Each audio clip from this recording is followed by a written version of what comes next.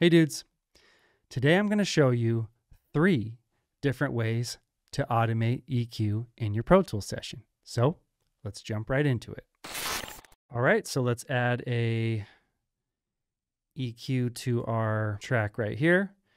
Now, if we are in read mode and I change anything with the EQ, let's say I engage a high pass filter and change the Q or slope to be really strong and go my 110K rule.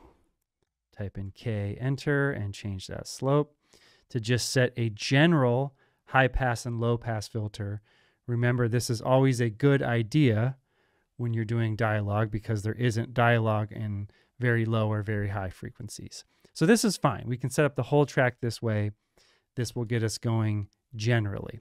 But if we listen to the example, all right, I'm going to talk like this.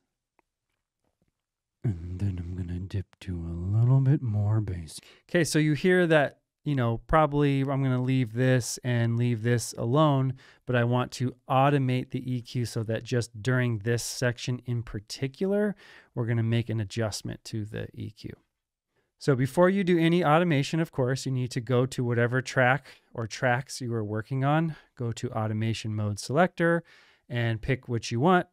I'm going to always encourage that you use touch. That is usually all I need to do. You will see your plugin has now turned red with all of these lights like it's ready to go.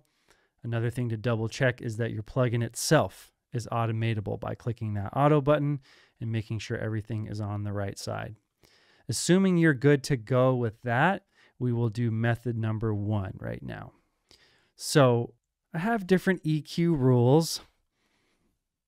One is my 5K and 250, the 5K being like adding or removal of robust or bass in voice and or anything really, but we're talking about voice. And 5K is what's going to be the bright zone. Some people like to use that 2K number or some value there. But those are the two different sides 250 or 5K is going to be how we control this. So in this example, and then I'm going to dip to a little bit more bassy. We just want to remove bass. We always want to try to remove EQ first, and that will then uh, correct the problem. So all I'm going to do is back myself up here with the playhead. Uh, I got my 250, my 5K, for example, in low mid filter and high mid filter. And I already have high pass and low pass. So really all I'm going to do is just try to reduce at 250 at the right time. So remember reduction will happen with gain. Uh, so I'll just go to a minus number. So I'm going to hit play and then I'm going to click and drag this down and then I'm going to let go since I'm in touch mode and it will go back to its resting place. So let's try that out.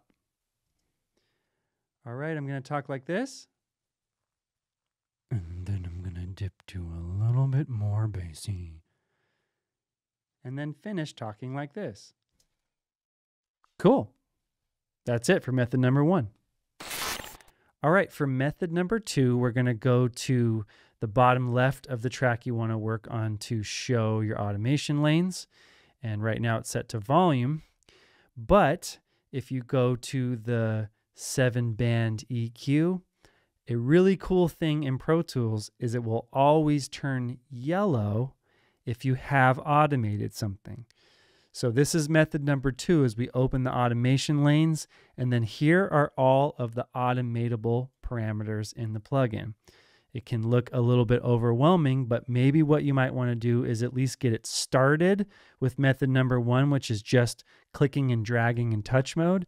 And then look, it turns yellow and I can click on it. And there we go. There is everything that I did. So let's say we were just doing this from scratch.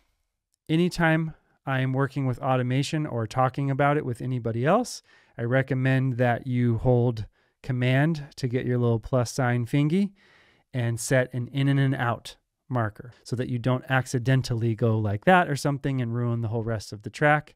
Now, if I were to just boom like that. I can undo, or remember, you can always hit option and your minus sign fingy will come up and you can remove any of these dots that you create. So let's say I just wanted to only do method number two. Uh, let's say I get the selector tool like this and just delete any of those previous dots that I created. I could just do something like this and then hover above my selection after I've made a selection with the selector tool. And let's go down nine this time. Remember, you can always hit command. So I'll show you that with the keyboard in a second. If you hold command while you're going up and down and dragging, it helps you get to a specific spot a little bit more precise. I will just delete this real quick and I'll show you again how I did this by holding command. So I click and I start to drag. I get it to about the place I need to. So 8.6 is pretty close. Then I simply just hold command. And now that lets me go like, you know, 0.1 at a time, very precise to get to nine. Uh, while we're at it, let's just even this out so it doesn't just hop on or drop off a cliff. So I am doing plus sign fingy to add a couple of dots and minus sign fingy to just make a nice little ramp. That's all. So now it'll nice and smoothly go up and down so we can watch that. So if I hit play back here, all right, I'm going to talk like this. And then I'm going to dip to a little bit more bassy. And then finish talking like this. So there you go. You can use method number two on your own where you're individually drawing these dots on the volume automation lane, or you can always check your work. So you can try and touch automation first and then always clean anything up by going to the automation lanes. Okay, with method number three, you're gonna have to have an automation mode called preview mode. So if we go to window, automation, or hit command and the number four on the number pad, it will bring up this window, which will allow me to click preview mode. I have a whole nother video describing how to do this, so I'm just going to quickly show you that this is the third method. Pop it into preview mode while I'm in touch, change whatever parameter I need to. So let's say minus 9 gain at 250 of the low mid filter you will notice that our touch automation has turned green, which means nothing has been printed yet, but I can simply just make a selection in and out where I want my change that I created to happen. Go back up to this automation window and write automation to selection. It will tell me that we're all good. And it will show me that we're all good here that I have made that exact change. So again, you can mix and match methods here where maybe I just want to clean it up here to make it a little bit more smooth like that. Or you can just leave it how it was if it's not bothering you, and you don't hear any change in automation. But there you go. That's method number three, which is using preview mode. So remember, you can apply this to however many parameters you want. So you can just keep doing pass after pass after pass. We just did one simple move with the low mid filter, but you know, let's do one more thing for fun. Let's do a low pass filter as I'm talking. Um, I'm going to show you also you can click and drag these dots as opposed to these knobs so they all work. All right, I'm going to talk like this. And then I'm going to dip to a little bit more bassy and then finish talking like this. So you can see that over time, I was able to click and drag something in automation mode. And then again, just one more reminder, we're in the low mid band gain. So I can hit the plus sign, for example, and bring up a new automation lane and find, oh, there's my low pass frequency. It is already turned yellow again because there is automation available. Um, but I'll just show you that, like, yeah, you could do more than one thing at once, basically. So there you go. So I'll click both of these together and you can watch it. All right, I'm going to talk like this. And then I'm going to dip to a little bit more bassy. And then finish talking like this. So there you go.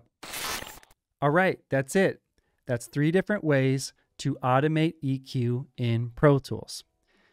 Keep in mind, this is a very important technique to use when you want to automate a small section of a track and not the entire track. If you want the entire track to have the same EQ, you don't need to use automation. But this is a great trick to just change one small section of a track, and it really helps keep your sessions nice and neat. Now you don't have to have dedicated track one, two, three, four, five with specific EQs on it. You just change the EQ anytime you want to change it within a track. And as long as you have the space to do it, you're good to go. So I hope this helps you in your future projects and you have fun with EQ automation. And until next time, later, dudes.